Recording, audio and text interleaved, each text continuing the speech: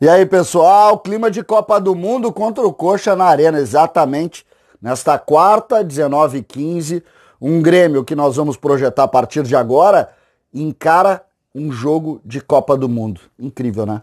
Mas é sobre isso que nós vamos falar. César Cidade Dias falando de Grêmio aqui no YouTube, papo de gremista para gremista.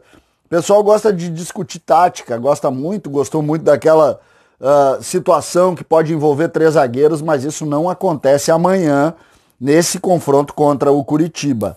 Isso vai ser projetado, sobretudo, a partir da volta de Jeromel e Kahneman, que ainda não retornam. O que, que o Grêmio tem para o jogo contra o Curitiba? Certo, os dois laterais vão jogar mais projetados.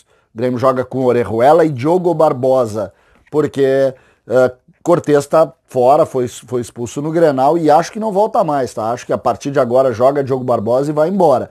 O Grêmio começa já a projetar com o primeiro volante, com o Lucas Silva recuando e compondo uma linha de três defensivas, sobretudo na saída de bola. Isso é que tem sido trabalhado para que os dois laterais se projetem e voltem. O PP vai jogar um pouco mais por dentro, o Alisson vai jogar um pouco mais por dentro e o Grêmio vai ter dois médio volantes. E aí a grande notícia: Michael volta. Michael é, sem dúvida, a figura que pode botar o pé em cima da bola e fazer o jogo caminhar. Grande dúvida neste momento para o enfrentamento contra o Curitiba. Se o Grêmio vai optar por um jogador mais movediço na frente de Michael e Matheus Henrique, ou se vai manter, sobretudo, Lucas Silva nessa linha de três que eu comecei a sugerir para vocês, que é o que está sendo trabalhado. Quando se pensa num time como esse, o Grêmio vai tentar pressionar a saída de bola do Curitiba, o desesperado Curitiba. Só que se a gente pensar em desesperado Curitiba, nós vamos pensar no desesperado Grêmio também. Porque a diferença de Grêmio e Curitiba, que está na zona de rebaixamento, é dois pontos. O Grêmio precisa obrigatoriamente fazer a vitória. Como construir a vitória? Possibilidades dentro do, do, do jogo que o Grêmio ainda movimenta e que pode ser surpresa. Luiz Fernando. Eu tenho falado muito sobre isso. Não se surpreendam se a gente entender Luiz Fernando de um lado, PP do outro, Alisson por dentro, sem a figura desse volante, jogando Michael e Matheus Henrique. O Grêmio começa a tentar projetar um time mais ofensivo, começa a fazer isso, mas nesse momento não tem tempo de treino. É muito mais em cima de planilha, de conversa, do que propriamente tempo de treinamento. Lembrando que o Grêmio fez o Grenal, o Grêmio folgou, o Grêmio trabalhou, uh, trabalha hoje para jogar amanhã. É, é, olha, é quase, quase uh, treino palestra. É quase treino palestra. Por outro lado, são jogadores experientes que o Grêmio vai conseguir construir. Eu tenho uma sugestão de time para o enfrentamento contra o Curitiba. No final do vídeo a gente vai colocar e eu quero muito ouvir a opinião de vocês sobre essa situação, porque eu não consigo imaginar outro resultado senão uma vitória. Não consigo imaginar.